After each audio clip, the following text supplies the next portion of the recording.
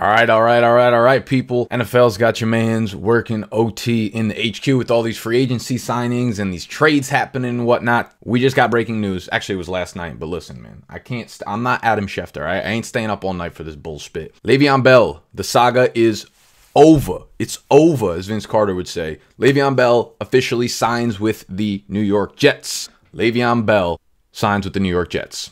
Contract is big, not as big as he would have liked it to be. It was four years, $52.5 million, $35 million guaranteed, makes him the second highest paid running back in the league between Todd Gurley and David Johnson. Now, I know a lot of y'all are going to come into this video with a bunch of bias, and regardless of what I say, regardless of the big facts that I spew out, you're going to say, hey, Bell's the top five running back.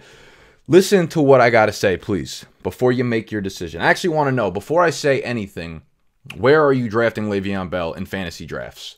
Um, you can give me a number, you can give me a running back ranking, you know, mid first round, late first round, mid second round. Y'all are smart enough to figure out what I'm talking about. Drop a comment down below. Let me know how you feel about Le'Veon Bell signing with the New York Jets, because I definitely feel some types of way when it comes to fantasy football. That's what we're talking about. 2019 fantasy football, what happens with Le'Veon Bell? My first thought, initial thought before I dove into any of the research, staying away from Bell. Anywhere near the top 15 picks, Bell is not on my board. When you look at why, the reason Bell has been so good in fantasy football throughout the majority of his career is just because of his massive receiving totals, right?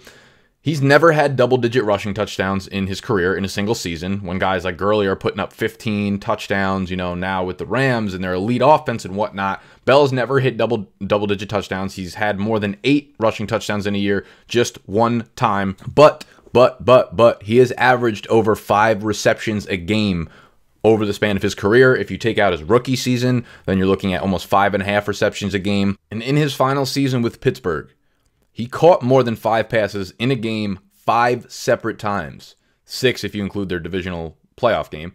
During Adam Gase's three years as the head coach for Miami, right? Adam Gase is the new head coach for the New York Jets. So I wanted to look at what kind of offense is he running? Does the running back get enough work in the passing game in order to supplement what Bell has been able to give to the fantasy landscape. So during Adam Gase's three years as head coach for Miami, which is, you know, simple math, three times 16, 48 total games, a running back on the Miami Dolphins caught more than five passes in a game five total times. So over that three year span, they matched what Le'Veon Bell did in 2017. And I'm looking at sharpfootballstats.com. I'm looking at the success rate in which, you know, maybe the volume will be there because Bell's definitely getting that workhorse money. The success rate, Miami's success rate when throwing to running backs, ranked 26th in 2016. That was Adam Gase's first year with a 38% success rate. They were 29th in 2017. That did improve up to 15th in 2018, but still middle of the pack, nothing to ride home about. And when you look at their offense as a whole, you know, I talked about this in the new head coaching changes video that I put out a month or so ago, which I'll link up here and down below. Miami's offense as a whole ranked 28th or worse. So from 28th to 32nd in the NFL in yards per drive, in points per game, in points per drive, and in time of possession per drive. So their pace, 28th or worse in all of those for every year that Adam Gase was the head coach in Miami.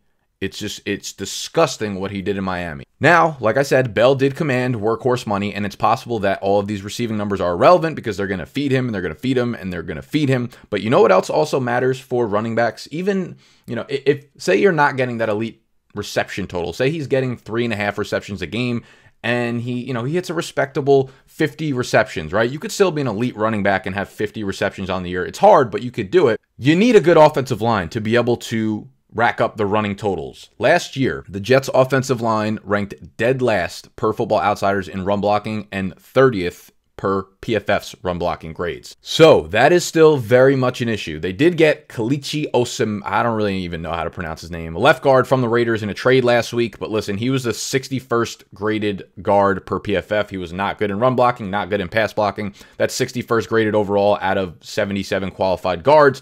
So yes, it's an upgrade to the line just because they were so bad, but no, it's not going to be a game changer. It's not what moves the needle for me when it comes to Le'Veon Bell.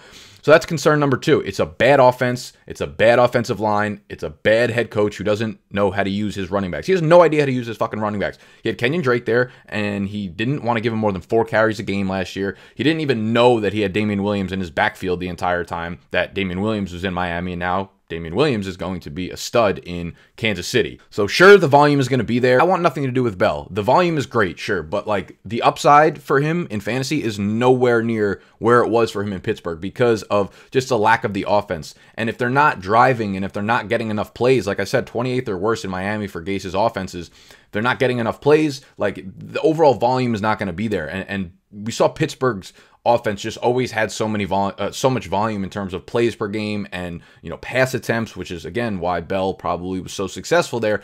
It's just it's not the same high powered offense. So I don't want you to go in thinking that Bell is just going to get the same receiving type numbers and he's not going to get the goal line looks. I mean, not that he's not going to get the goal line looks. He will get those carries, but the volume of them is not there. I was just looking at the numbers and the Jets running backs in total last year had six carries inside the five yard line there were, let me see, one, two, something like 25 running backs on their own that had more than six goal line carries last year. So the Jets do not give their running backs opportunities down by the goal line, not because they don't hand the ball off to them, but because they don't get there enough. Yes, this offense should take a step up with Sam Darnold in his second year, and things could be a little bit better, but I just think it's a miserable situation, and it might looks something like the Cardinals with David Johnson, with a bad head coach that doesn't know how to scheme correctly and just a, a, bunch of bunch of nonsense. So where I have Bell ranked right now in my rankings, he's sitting at RB11 in my half PPR rankings. He's right after Nick Chubb, but he's right before Damien Williams. Um, that might switch. I'm not really sure. He's the same tier as them as with Joe Mixon, Dalvin Cook, and Marlon Mack. So that's just to give you a gist of where I have him ranked right now in fantasy. Of course, the volume is there, so you can't ignore it altogether.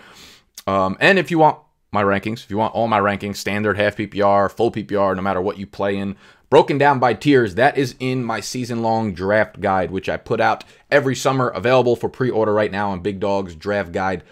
Com. You'll get a discount if you pre-order before March 25th. In that guide is a whole bunch of good shit. Um, so you can just go check it out, bigdogsdraftguide.com. If you think I get in depth with my videos and this analysis, man, the season long guide is going to absolutely blow you away. So go check that out. Make sure you hit the thumbs up button if you enjoyed the video. Make sure you subscribe to the channel if you are new. We're talking everything 2019 fantasy football all throughout the offseason, all throughout the summer, all through the season, hopefully bringing y'all home the chip. I love you. I'm out.